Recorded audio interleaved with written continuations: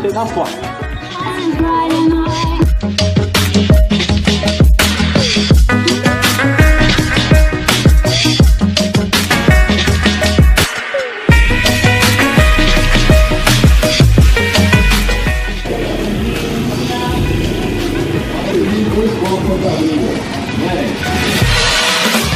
vai fazer a conferência.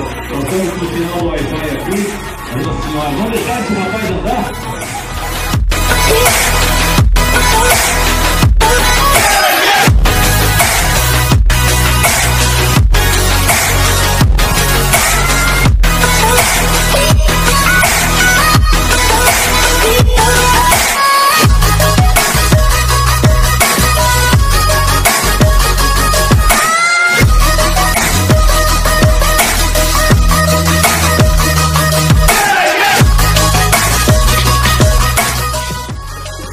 live.